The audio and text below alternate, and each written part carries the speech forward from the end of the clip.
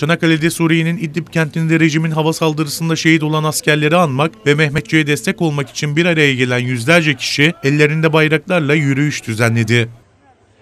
Yüzlerce kişi ellerinde Türk bayrakları ile Cumhuriyet Meydanı'nda toplandı. Saygı duruşunda bulunulması ve İstiklal Marşı'nın okunmasıyla başlayan program, Suriye'nin İdlib kentinde rejimin saldırısı sonucu şehit olan askerler için dua edilmesiyle devam etti. Daha sonra açılan dev Türk bayrağının arkasında kortej oluşturan kalabalık, şehitler ölmez vatan bölünmez, her Türk asker doğar, ne mutlu Türk'üm diyene katil Esad hesap verecek sloganlarıyla yürüyüş gerçekleştirip Çanakkale sokaklarını inletti. Program kortejin tekrar Cumhuriyet Meydanı'na gelmesiyle son buldu.